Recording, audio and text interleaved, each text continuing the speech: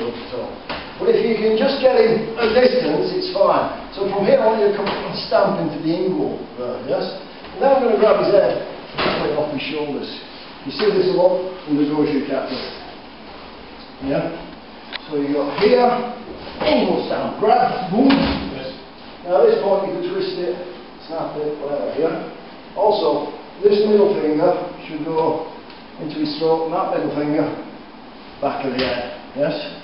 Steve will tell you I can squash his nose with that part, yeah? Mm. This is very pleasant. Once you've done the pull, it's then easy to do the twist. If Steve tucks your neck head and make it strong, it can be a problem. Look, I don't want to stress Steve's neck, but I can't move it really. But if you've just belted him off with a kick, you've pulled his neck, this can be easy to break, yeah? Yes.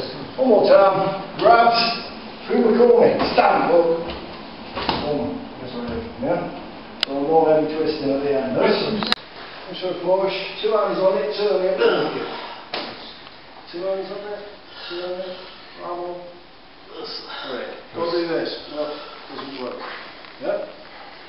So it's a subtle position, you need to be just under his elbow, palm up, this will snap, Andy will tell you when Yes. it's going to snap. But if I get this wrong, then you'll be in trouble, yeah? Thus. So it's very simple. Thus. Thus. Hope you enjoyed our video. There's more information on our website www.goju.co.uk